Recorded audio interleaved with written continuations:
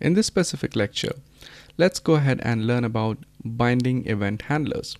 So a couple of lectures ago, we have actually created this particular class-based counter here, which actually increments the value of counter by one every time we click the increment button. So we have actually used event handling in this example and I said that we won't be discussing about event handling in there but we are going to discuss it later and this is where exactly we are going to dive deeper into this particular example itself.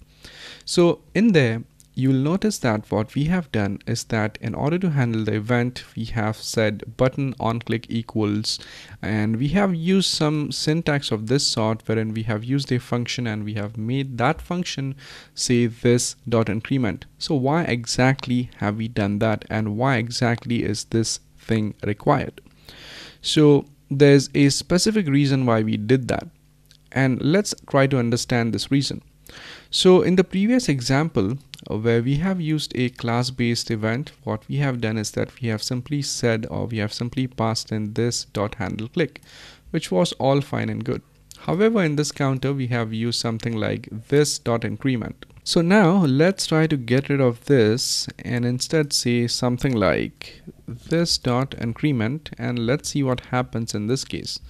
So if I try to do that, uh, let's add this component here, which is nothing but the counter component. So I would say counter.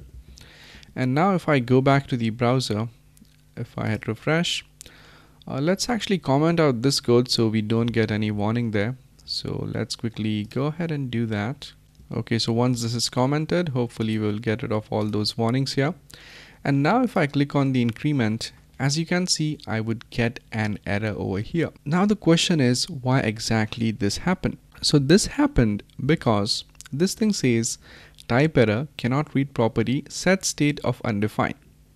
So it's basically saying that this set state which we have over here, which is the set state method which we have used in order to set the state of the counter and increment the state of the counter by 1 is not defined or undefined. Specifically, it will say that this particular keyword, which is the this keyword, is undefined. So why exactly does it say that?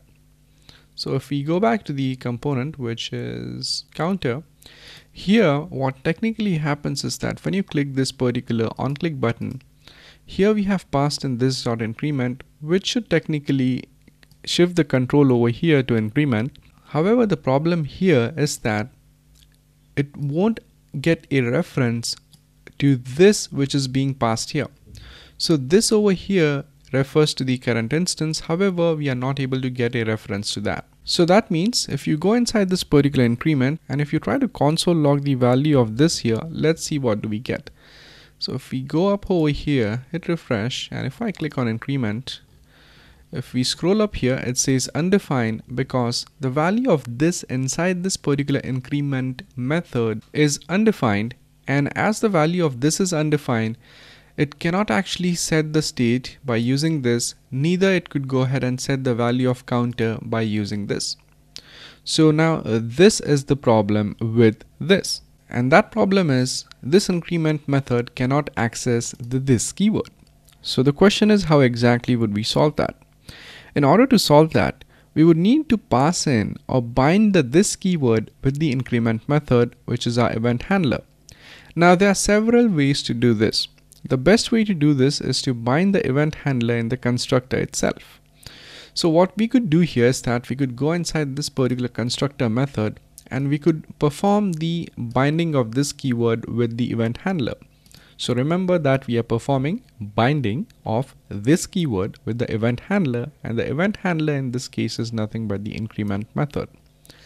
So in order to perform that binding, I could say this dot increment. So first get access to the event handler, which is the increment method. Once you get access to this, you say this dot increment dot bind and then bind in this with this. So once you go ahead and do that, hit refresh. Now if I click it, as you can see, the value of the counter is increased because now this is actually accessible to this increment method and also the value of this is now no longer undefined instead it's actually giving us this particular counter object here so this is one way of binding the event handler with the this keyword So I'll comment this thing out for now. And let's take a look at the second way of actually doing this. So another way of actually binding the event handler with the this keyword is by making use of the arrow function for the event handler. So right now, as you can see, this increment is our event handler and it no longer works because the this keyword is not accessible in here. And now in order to solve this particular issue, what we simply do is that we convert this particular thing into an arrow function. So here I would say increment equals and just convert this into an arrow function like that if we do that, if we hit refresh, now this works.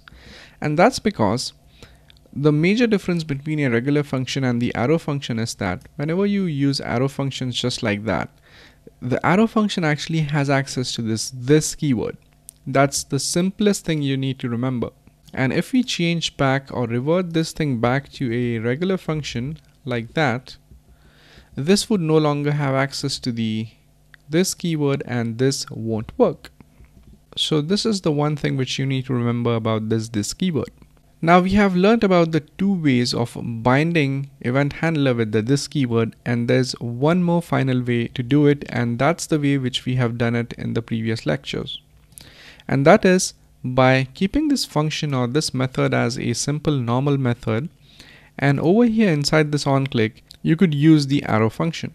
So you could make use of the arrow function just like that and see this is a function which defines this increment. And as this is a function, you actually need to make a function call here. So make sure that you have the parentheses here. And if you do that, hit refresh, click on increment, this would work. That's because now the increment event handler is bound with the this keyword. So these are the three ways of doing that. And the most recommended way is to go ahead and use arrow functions for class method. So what you do is that you create an arrow function here. So this is the most recommended way. So you just simply go ahead, use the arrow notation over here and just simply say this dot increment here. Delete this. So this is the recommended way. This would work. And the other recommended way is that you simply go ahead and just say this dot increment, use a regular method here just like that and just perform the binding inside the constructor like that and this would work absolutely fine as well. So this lecture might have sound a little bit confusing about binding event handlers but hopefully you have understood it decent enough. So if you didn't understand this concept at this moment, it's absolutely no problem. It takes some time to sink in. You could proceed with the rest of the lectures and as we encounter event handling in class-based components, you'll soon be able to recognize the pattern and you'll soon be able to understand the concept of event binding. So thank you very much for watching and I'll see you guys in the next one. Thank you.